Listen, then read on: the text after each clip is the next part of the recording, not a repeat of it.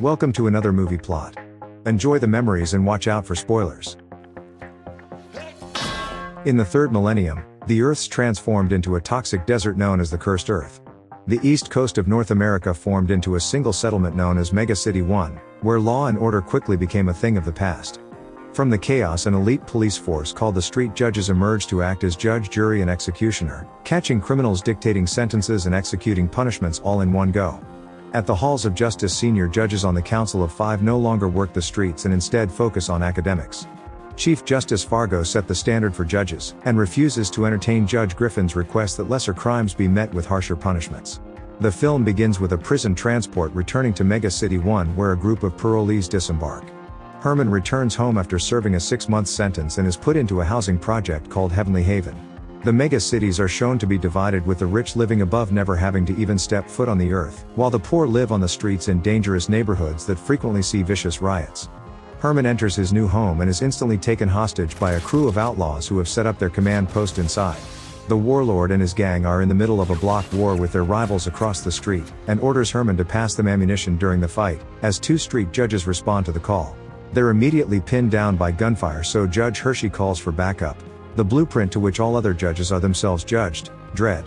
The most famous of all the street judges announces his arrival, before informing his co-workers that bullets pose no lethal threat to them from that range, despite two seconds ago showing us this poor bastard being lit up from the same range. They begin their assault on the building, where Dredd easily dispatches the gangsters with Hershey and the rookie unable to even keep up, so the new guy rushes ahead to the command post and is mowed down immediately. One of the killers retrieves his dropped weapon when its defense mechanism electrocutes him. As Dredd begins to give his voice-controlled lawgiver two orders, switching between rapid fire, armor piercing, and double whammy rounds, leaving only the warlord alive. Reciting all the years he will serve for his breaches of Mega City Municipal Code, the warlord draws his gun knowing what's coming but is beaten to the draw by Dredd, who passes the sentence of death for the murder of his fellow judge. While Hershey mourns for the dead rookie, Dredd claims there should be laws against emotions, before finding Herman having hidden himself away in a service droid to escape the warlord. Dredd charges him for tampering with the machine and gives him another five years as a repeat offender, saying that he should have jumped out the window 40 floors to escape as at least that would have been legal. Reporting back to his mentor at the halls of justice, Dredd tells Fargo that the executions were unavoidable which his friend trusts to be true, but is ordered to teach ethics at the academy in hopes of preventing him from descending into madness. Over at the Aspen Penal Colony where Herman will be returning, Warden Miller visits a high security cell housing a disgraced judge named inmate Rico. He gives him a box from an unknown benefactor which contains his old badge and a picture of a target, before turning into a small pistol which Rico uses to shoot Miller through the throat with. The voice-controlled defenses aren't able to indicate Miller's voice and shoot him down, as the guards arrive too late and are subsequently slaughtered by the convicted killer. At his first day at the academy, Dredd showcases to the cadets the capabilities of the Lawbringer 2 and the judge's vehicle of choice the Lawmaster, and tells them how little it all matters compared to the code. Hershey confronts Dredd about his morbid outlook but he tells her that she's only been on the street for a year and will be exactly the same given enough time. When asked about relationships he tells her he was once forced to judge his only friend when he turned to a life of crime. Rico escapes from Aspen inside a body bag and strolls through Mega City 1 before going to a pawn shop. The owner retrieves a box set aside containing a lawgiver that Rico's told not to touch due to the booby trap, but he picks it up and shoots the man dead as he's the one it belongs to. He finds an antique combat droid called an ABC Warrior and reactivates it, giving it the order to be his personal bodyguard with the prime directive of war.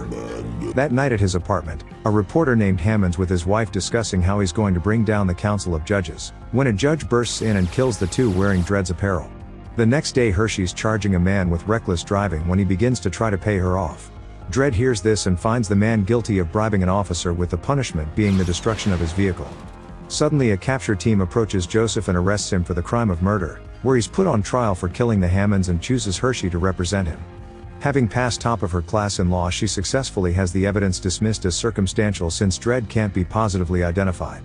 However Judge McGruder reveals that all Lawgiver 2 pistols capture the DNA of the person who fires it, and the DNA from the rounds used in the crime are a match for Dredd. Fargo overcome with guilt at seeing his greatest student sentenced to death, is convinced by Griffin to retire and take what the judges call the long walk into the cursed earth. With this he's able to request the final order that Dredd's sentence be lenient due to his years of loyal service, which the new Chief Justice Griffin agrees on, then gives Dredd a life sentence the moment Fargo walks off. Dredd is stripped of his garb and sent away, as Fargo is honorably sent on the long walk into the desert to die. where he'll take a shotgun and a copy of the municipal code to teach the outside savages the meaning of law. When Griffin returns to his office he's confronted by Rico and his in-your-face security. Griffin's the one who helped Rico escape and who also had Dredd and Fargo framed, and even initiated the block war that ruined poor Herman's life, all to convince the Justice Council to reinstitute something called the Janus Program, which Rico seems passionate about. While on the shuttle to Aspen, Dredd sat next to the wrongfully convicted Herman who recognizes him. They argue briefly when Dredd claims that the law doesn't make mistakes, as Herman reminds him of where he's sitting right now. Below them on the cursed earth, a family of religious fanatics called the Angel Gang use a rocket launcher to blow the shuttle out of the sky. When a recovery team shows up at the crash site Dredd's already missing, and under Griffin's orders they kill any survivors. Dredd and Herman are the only people who escape but are strung up by the middle son Mean. The father of the family Elmer identifies Dredd and thinks him sent to them by God. He introduces his youngest son Junior when Herman proclaims himself a believer in an attempt to escape. The eldest son Link cuts him down when Dredd tells Herman that the angels actually eat believers. Elmer turns Mean's dial up and tells the once kind child to finish Dredd, when he slips out of the restraints and fights back. He disarms Junior and breaks his neck then shoots Link with the gun and turns Mean off. When Elmer leaps at Dredd he's shot dead by the arriving capture team. But Dredd quickly takes one's weapon and shoots all other four approaching. One rises back up but Dredd's saved by Fargo who just happened to be passing by, but before they can have a reunion he gets run through the back by Mean Machine. Dredd begins to battle the beast and eventually slips a strike causing Mean to get his cyborg arm trapped in a wall, then citing illegal use of city electricity as the violation, executes the criminal with his own power source. Meanwhile Hershey conducts her own investigation of Dredd's conviction and finds a photo of him with his family, as well as with Rico at the academy. She takes the first to Cadet Olmeyer who finds that everything in the photos been forged except for Dredd himself.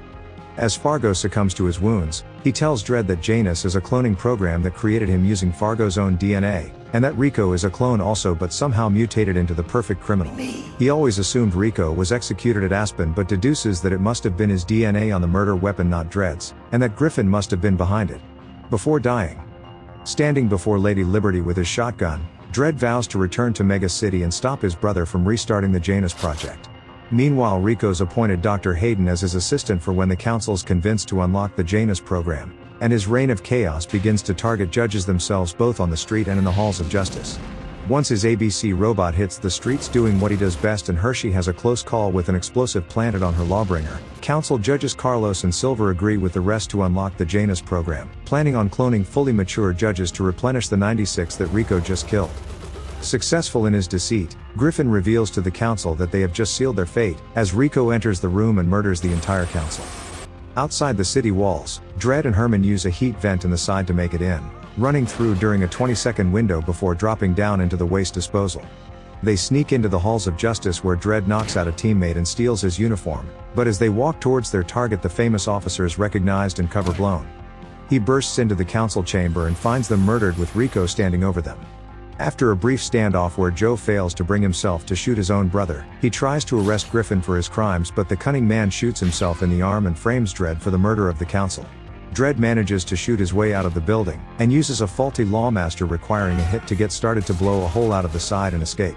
Three officers chase the two through the city where Herman finally gets his first kill, when he fails to work the shotgun but indirectly sabotages a pursuer's bike. He drifts into a retracting billboard while the second just doesn't pull up in time. The final guy just has Dredd jump onto his lawmaster and throw him off. Then the two take the bike and fly to Hershey's apartment. They find the place ransacked but Hershey's still alive and on edge, as now they're up to 108 dead judges.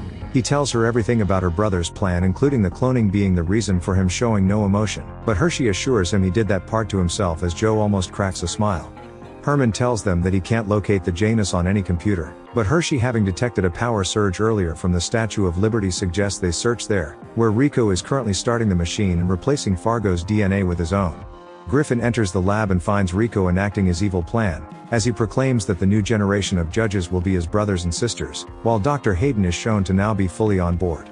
Before Griffin can do anything about it, the ABC robot is ordered to dismember him but leave the head for last. Herman's told to go home by Dredd but says he wants to stay, as Hershey convinces the judge that maybe he's lucky. They search around the base of the statue, when the combat droid comes out of the shadows capturing Hershey and shoots Herman in the stomach.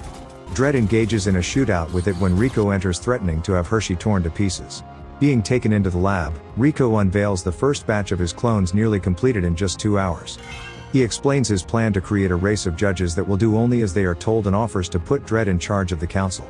When he refuses to join, Rico orders the ABC bot to rip Hershey apart, when it begins to act up knocking Rico and Hayden to the ground.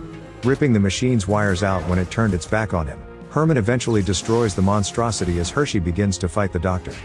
Dredd chases Rico down who runs through the laboratory and orders the clones to be woken up early. They begin to come to life as Hershey defeats Hayden with a headbutt and the two brothers begin to fight. After a back and forth of fisticuffs, Rico retrieves his pistol and misses Dredd with it, destroying the lab along with all of the clones. Fleeing to the top of the statue Rico attempts to escape on his Lawmaster but is thrown off by Dredd, where the two begin to fight again when Dredd is knocked off the edge. Hanging above the city, Rico begins to pass judgment on Dredd for betraying his best friend years ago. Before he can pass the sentence of death, Dredd grabs the lawgiver and distracts Rico with a flare, then throws him off the edge to his death. Just then Dr. Hayden shows up but is instantly shot dead by Hershey, who helps her partner to safety. The three emerge victorious and are greeted as heroes by the remaining judges, who ask Dredd to be the new Chief Justice in starting the new council. He refuses the offer preferring to work the streets and begins putting his gear back on, as Herman's wheeled away to the hospital. Hershey assists with the helmet and the two kiss, as Dredd rides away on his lawmaster cracking a smile. And the movie ends.